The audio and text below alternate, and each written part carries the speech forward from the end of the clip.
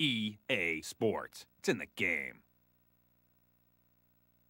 EA Sports in the game.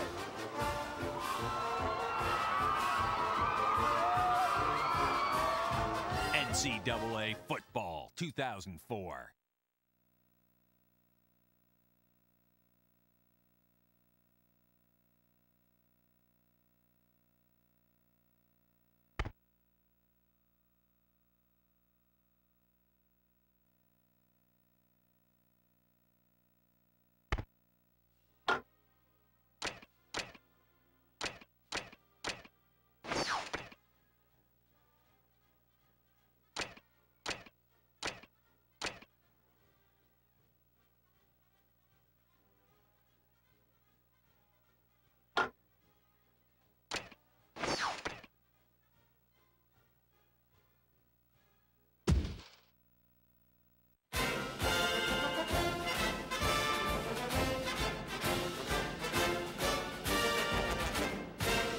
One of the biggest challenges in college football is getting your plays called on time because you're working against a 25 second play clock.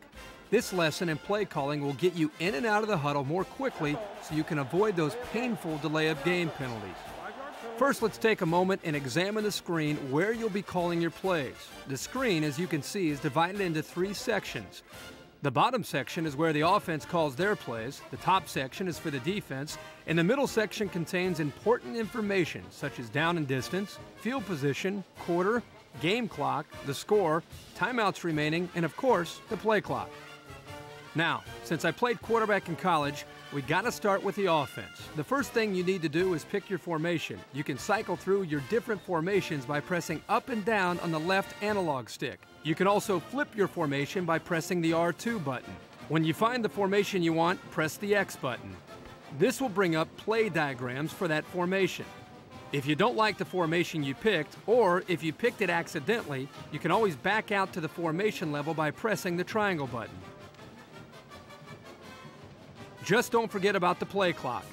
Indecision is the number one cause for delay of game penalties. Dead ball. Delay of game. On the offense. Five yard penalty. Still second down.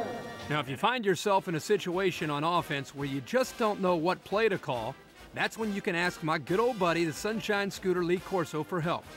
Press the square button at the formation level, and coach will hook you up. Time to have a little fun out there. Let's see if the old defense is ready for this one. But let's get back to calling plays. You've already picked your formation, and now it's time to pick your play. There are three plays displayed at a time. Running plays will have blue headings, and pass plays are in yellow.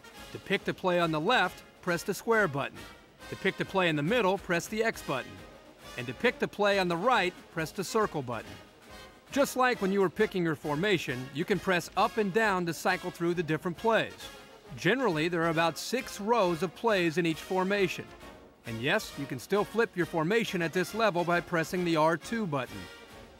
If you find yourself playing against a paddle peaker, you know what I'm talking about. You might want to learn how to bluff your play calling. To do this, simply hold down the L2 button when you call your play. Instead of calling the play shown in the diagram, you will call the play directly below.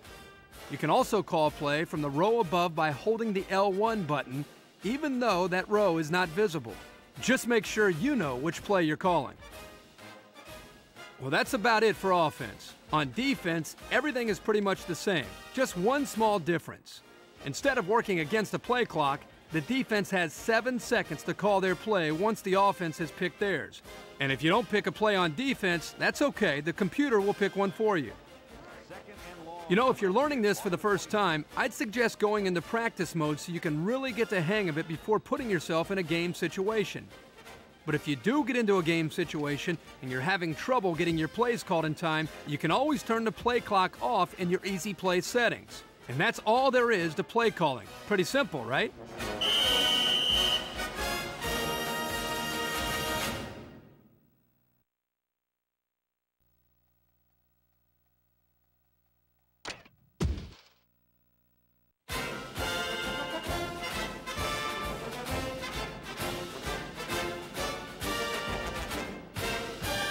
Best players in college football are those that have the ability to make plays every time they touch the ball.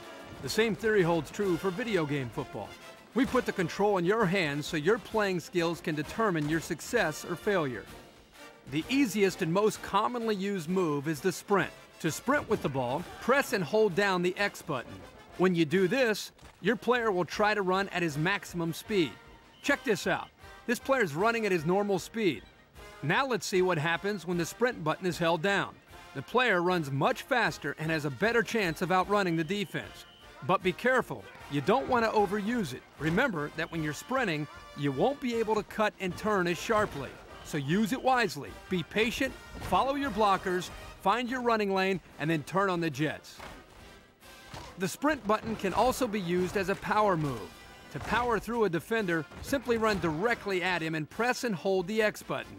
This technique is most successful for the big bruisers, so it's important that you understand your player's running style. Don't try to take on a big defensive lineman with a 180 pound tailback, because you'll get pulverized. For the quicker, more agile players, you're better off using the juke move. To perform a juke to the right, press the R1 button. To juke left, press the L1 button. Now there are two types of jukes, a quick juke and a hard juke. To do a quick juke, lightly press the juke button. To do a hard juke, press the juke button more forcefully. The best time to use the juke move is when a defender is quickly approaching you. Time it right and you can juke him right out of his shoes. Another move you'll want to learn is the spin move. You can do a spin move by pressing the circle button. To control the direction of your spin, use the left analog stick. So if you want to spin to the left, press left on the stick and then spin.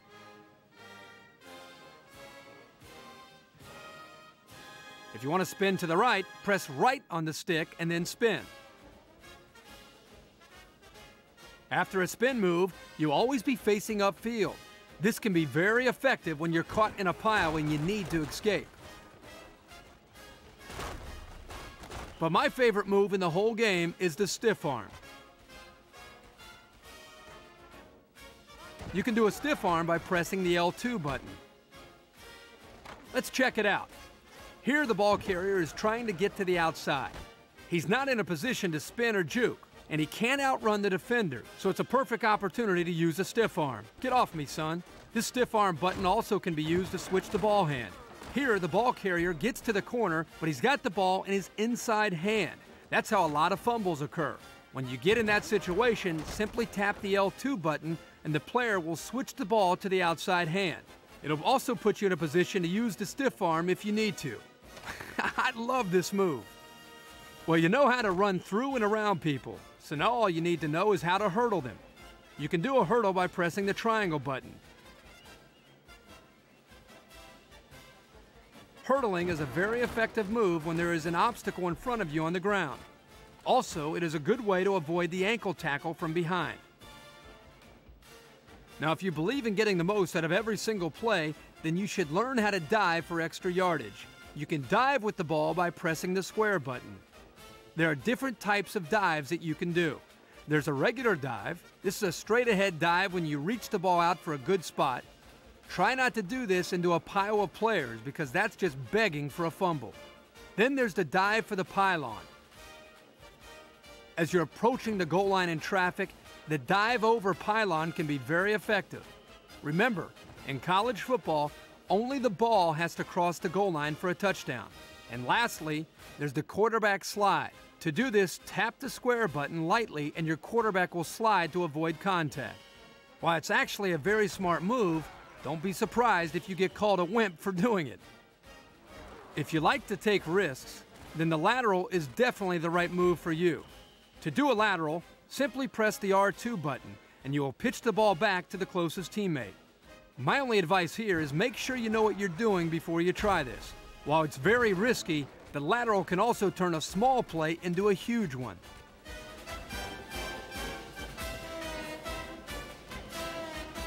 Well, that's all there is to running the football. Practice each move one at a time, and eventually you'll be able to use multiple moves in a single play. That's when you can run with the big dogs.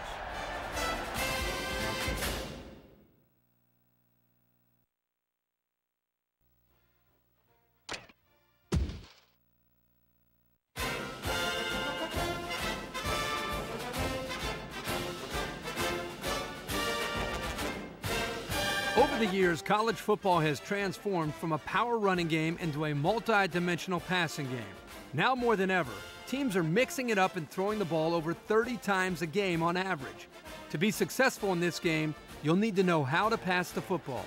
As soon as you snap the ball, passing icons will appear above each of your eligible receivers. To throw the ball, simply press the button that corresponds to the receiver you want to throw to. When you throw the ball, you have complete control over the speed of your throw. To throw a bullet pass, press and hold the button of the receiver you want to throw to. The longer you hold the button, the harder the pass. By just tapping the button, you'll throw a high floating lob pass. Lob passes may be easier to catch, but they also give the defense more time to react. It's up to you to practice and learn how hard to throw the ball based on the situation. In addition to the passing speed, you also have control of how to lead the receiver. When you press the button to throw the ball, use the left analog stick to point in the direction you want to lead the football. In this example, the receiver has a step on the defender, so you'd want to lead the ball in front of him. And here, the defender is running right with the receiver, so you might want to intentionally throw the ball low and behind where only the receiver can catch it. Just remember that when you're trying to throw an accurate pass, it's very important that you have your feet set. Sometimes, if you try to lead your pass before you throw it, you end up throwing on the run, and that can really hurt the accuracy of your passes. Get the timing down, and you'll be a passing genius. One of the more effective moves by the college quarterbacks is a good old pump fake. To do a pump fake, press the R2 button and use the left analog stick to point in the direction you want to do the fake. This can cause defensive backs to bite, leaving a receiver wide open. It can also cause defensive linemen to jump, leaving you room to run. There's nothing like a good pump fake to toy with the defense a little bit. The best quarterbacks in football are those who can elude pressure and make good decisions. When you find yourself under heavy pressure with the pocket collapsing, it's time to get out of there. To do this, press the L2 button. This will put you in the quarterback scramble mode. Notice that your receiver icons have dimmed. You won't be able to throw the ball in this mode, but you can run much faster and escape the pressure. When you've got some breathing room and you're ready to throw the ball, press the L2 button again. This will put you back into quarterback pass mode so you can let it fly. If you can learn to scramble against the blitz, you'll be able to make some big plays. Sometimes, even the most elusive quarterbacks still can't get away from pressure. Instead of taking a sack or risking an interception, the best decision is just to throw the ball away. To throw the ball away, press the triangle button. Just make sure you're outside of the tackles, otherwise, you could get called for an intentional grounding penalty. Well, there you go. Now you're ready to go out and pass the ball with confidence.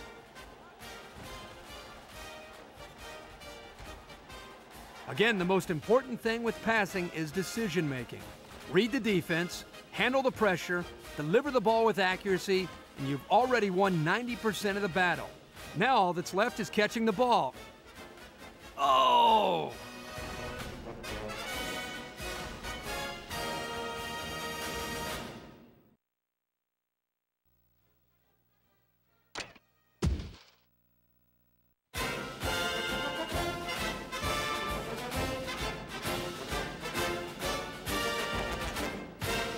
If you ask me what's the greatest offense ever invented, I would of course say the triple option. Just like the name indicates, you have so many options, it's almost impossible to defend if it's executed properly. You can give it up the middle, you can keep it, you can pitch it, you can even pass out of it. That's what makes this play so exciting to watch and even more fun to execute. If you're running a triple option, your first option is to give to the fullback. To do this, simply press and hold the X button when the fullback passes by the quarterback. If you're running a power option, the fullback will be used as a lead blocker instead. If you don't give it to the fullback, this is when the options really open up for the quarterback. The goal of the quarterback is to cut this thing upfield instead of stretching it out to the sideline.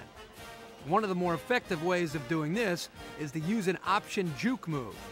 The option jukes are triggered like the regular jukes, using the L1 and R1 buttons. So if you're running an option to the right, press L1 to cut upfield.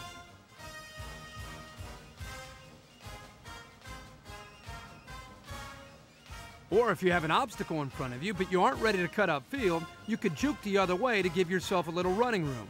The effectiveness of an option usually depends on the speed and agility of your quarterback. In today's game, we're seeing more athletic quarterbacks, and it's not uncommon for them to rush for a 1,000 yards in a season. Yo, this kid is a master of that option game. Look at that run, guys. That was beautiful. You know, when an option quarterback adds the fake pitch to his arsenal, Lee's right. That's when he is the true master of the option attack. To do a fake pitch, press the L2 button.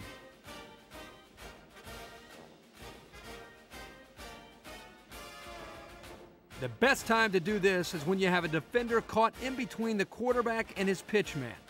The fake pitch can get the defender to bite on the running back, giving your quarterback some serious daylight.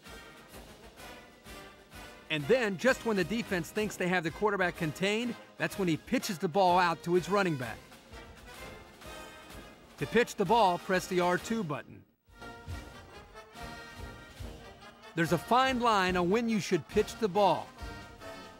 You don't want to pitch it too early because the defense can react to it. But you can't pitch it too late because that's risking a fumble. The best thing to do is wait until the defense commits to your quarterback and then pitch it. Man, this is fun. If you're able to run the option successfully, the defense will start to bring up their safeties to help out. And if I may steal a line from my friend LC, that's when you go to the air, my friend. The option pass can be a deadly weapon for a run oriented team. A couple of long touchdown passes will keep those defensive backs honest. An option pass is executed just like a regular option play. You can still hand the ball off to the fullback, cut upfield, and pitch to the halfback. The only difference is you won't be able to sprint with the quarterback. When you press the X button, the quarterback will drop back into his passing mode. The pressure will be heavy, so be sure to get rid of the ball quickly. This is the ultimate fake out for an option oriented offense. And that's all there is to it. You gotta love it.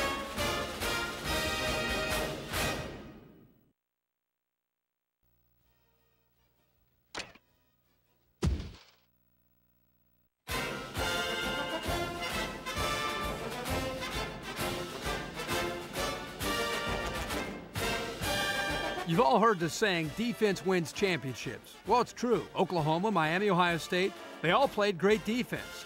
And although defensive play calling is a very important part of it, this lesson will focus on control.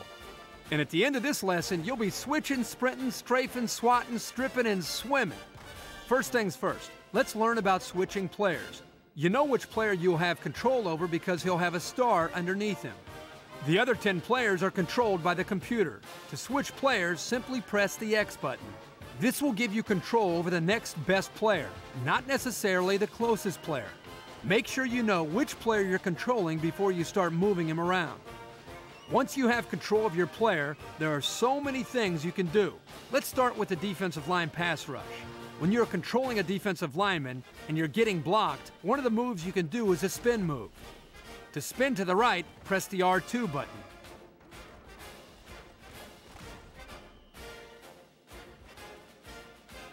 To spin to the left, press the L2 button.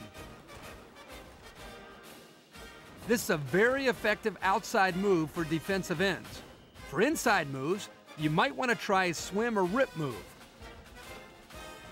To swim or rip to the right, press the R1 button.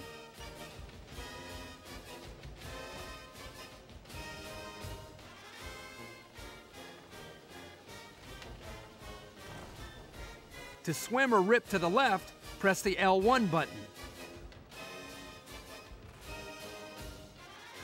This is a good way for defensive tackles to squeeze into the gaps and disrupt the running play. For linebackers and defensive backs, a big key to success is knowing how to pursue the play and make tackles. There are times when you will need to sprint full speed to run down a play.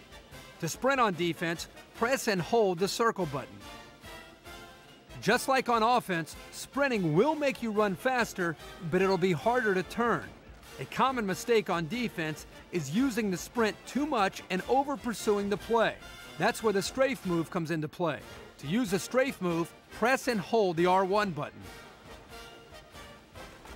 The strafe will make your player square his shoulders and break down into a good position to make the tackle. Learning the proper use of the sprint move and the strafe move will put you into great position to make plays, and that's half the battle. When you're in position to make a play on a pass, you have to decide whether you want to swat it away or go for the interception. To attempt to swat the ball away, press the L1 button. The swats are very effective in breaking up pass plays, and they're relatively low risk. So if you don't bat the ball away, you're still in pretty good position to make the tackle. But if you're an aggressive guy, then you'll probably try for more interceptions. To attempt an interception, press the triangle button.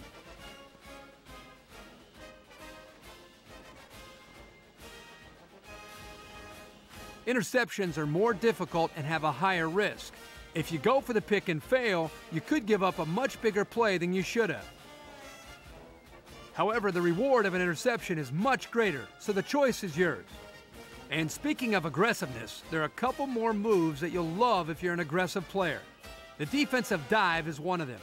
To make your player dive, press the square button.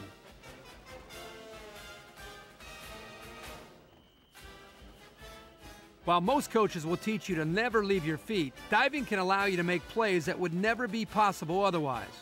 I see a lot of gamers out there who switch and dive, switch and dive. Get with it, guys. You're only hurting yourself when you do this. I suggest you dive only when you need to, like if you're making a last ditch effort at a tackle. And the last move to learn is the strip ball. This one I love because it's very rewarding and it can be low risk if you use it in the right situation. To strip the ball, press either the L2 or R2 button. The best time to use this move is when the ball carrier is in a lot of traffic. Don't use it in one-on-one situations because you're just going to miss the tackle. Well, that wraps up this lesson in defense. Throw a little defensive play calling strategy in with these defensive control skills, and you'll be a feared competitor.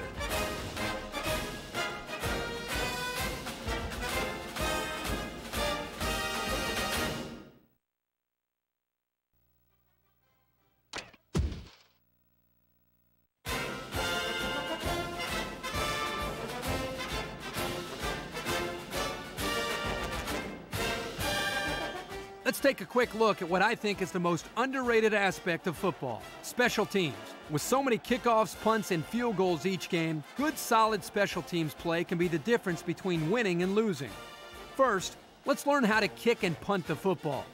Use the left analog stick to move the red arrow up, down, left, and right. This indicates the direction and trajectory of your kick or punt. When you have the direction you want, it's time to kick the ball.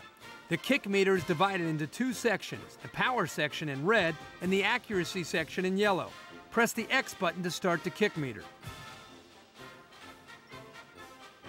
When the meter reaches your desired power on the upswing, press the X button again. The higher it goes into the power section, the more powerful the kick. After you do this, the meter will start its downswing. Press X for a third time to determine the kick's accuracy. The closer you get to the middle of the accuracy section, the straighter the kick.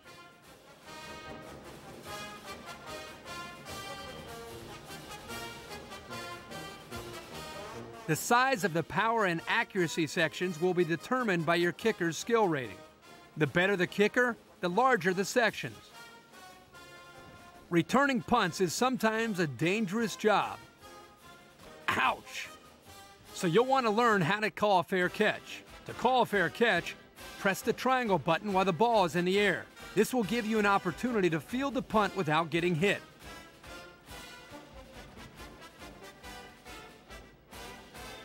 If you're playing the field position game, punt coverage is crucial. Let's say you do a sky punt and it's going to land inside the five yard line. The return team is not going to field this punt, so it's up to you to down it before it goes into the end zone. To do this, use the same catch and swat moves that you learned on defense. Pretty simple, and this can put your defense in great position to make a huge play, all because of special teams.